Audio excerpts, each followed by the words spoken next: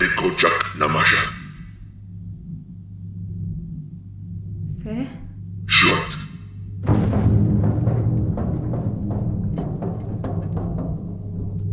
Correct, Noé. no way.